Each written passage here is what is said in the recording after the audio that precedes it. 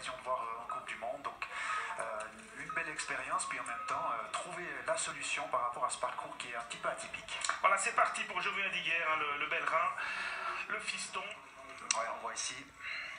On a un peu plus de, 24 peut-être. Voilà, 2.25.02 pour Jovien Diguerre, le premier temps de référence. Erwan Keder, Vaudois, on termine avec lui aussi une belle qualification. il a une belle carte à jouer, Erwan, aujourd'hui. Ah ouais, il va se qualifier avec une belle 13e place provisoire. Formidable. À 5,86 devant Renaud Et devant hein, le, cousin Jovien Ediguer. Euh, belle performance d'Erwan, bravo. Belle réaction, bravo. Suisse, hein, puisqu'ils étaient 8, on le rappelle, qualifiés. Choisir. Erwan dans la 5 avec Ribli, Terentef et De Fabiani. Je mise sur la une. Je pense pas. Non? On verra. Peut-être la 5 quand même. Avec son cousin. Ouais, la 5. Trois Suisses dans la série 5, Ribli et les deux cousins, Erwan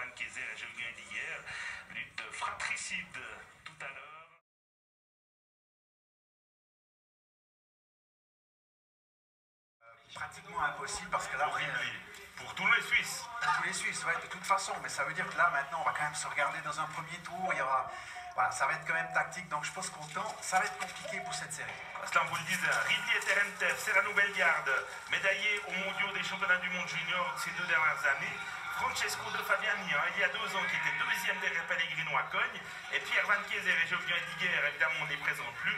Et Valentin Chauvin, le, français, qui s'est allé très très vite. Donc là aussi, hein, c'est une série extrêmement compacte. C'est le jeune russe, 20 ans, hein, qui a pris le commandement des opérations. Devant Jovian à gauche. Allez, euh, Jovian tranquille.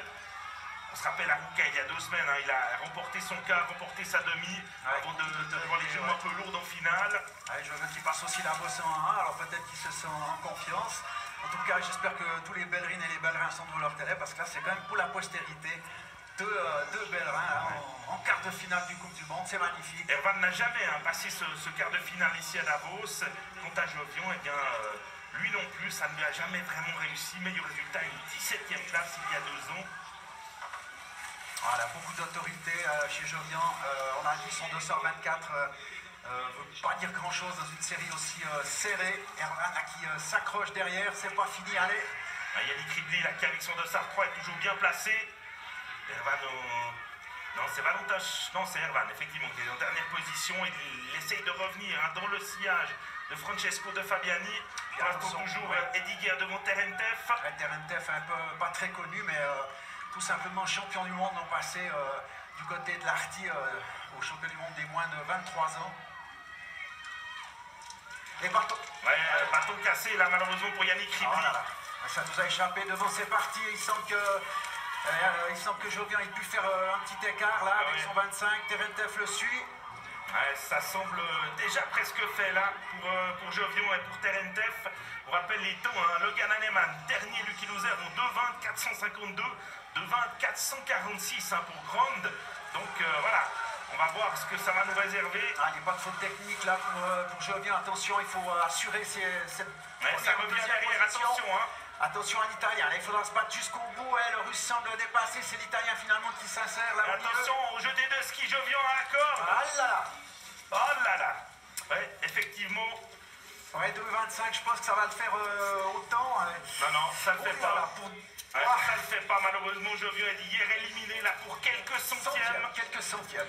Ah, il a vraiment calé hein, dans, les, dans les 10 derniers mètres. Et malheureusement pour lui, Jovian ne passera pas. J'ai bien l'impression que les trois Suisses sont éliminés. vous l'avez entendu, hein Il le sait, Jovian Ediguer, avec ce, ce cri-là qui...